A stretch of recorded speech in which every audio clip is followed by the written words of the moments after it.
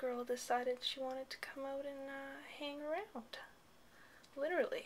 so I figured I'd make a short video.